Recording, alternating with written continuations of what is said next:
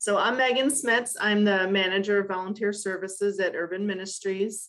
Um, it's Urban Ministries of Wake County that I'm representing. Um, we obviously are in Wake County. We are located in Raleigh, close to downtown Raleigh. Um, and our organization has three main programs that we that we do. Our one of our big programs is our open door clinic. So we are a healthcare facility that serves individuals who do not have insurance. We have a full um, a full clinic, including a pharmacy that our patients receive medicines for. Our second big program is our food pantry. Our food pantry serves our neighbors who are in need of food.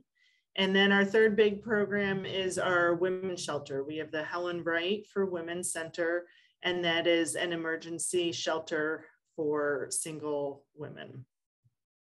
We have several different volunteer opportunities. We employ about 50 employees and we have over 1,100 volunteers. So we really rely on volunteers and we have lots of opportunities to become involved some of our in-person opportunities that we are currently recruiting for is our front desk greeter. This position sits in the front lobby and opens the door to our patients that are here for their clinic appointments. This is a it, it's a really great opportunity because you're face to face with the public. Um, also, we have opportunities in our food pantry. Our food pantry is open Monday through Thursday, and the shifts are in the morning. Right now, because of COVID, we're running a curbside pickup pantry. And so the volunteers are involved in packing boxes and getting groceries together to bring out to the cars. We, in our clinic, we have several opportunities one of our most popular opportunity is the intake triage volunteer position. For this position, you need to have an EMTB or higher, an RN or um, you know other upper licenses. And then one of our best ways to volunteer in our clinic is to become an intern. Right now, we are under underway on our fall semester, but for spring in October, we will begin to accept applications for our spring semester.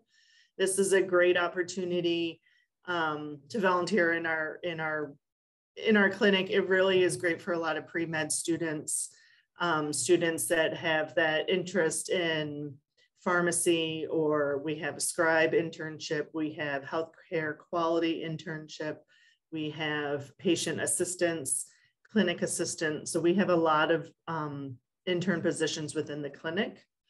We also have intern positions in the other departments as well, but our clinic is our highly sought after place. As far as remote volunteer opportunities, we definitely have those as well. Our most needed one are medical interpreters, and this is for Spanish, English um, interpreting. So this is remote because the majority of our doctor visits right now are telehealth. And so if you, after you go through the training, if you um, are able to interpret, then you would just call in from your phone at home. We also love food drives. We can't really survive without them. So if you're interested in organizing a food drive with one of your clubs or dorms or neighborhoods, um, that definitely counts as volunteer hours.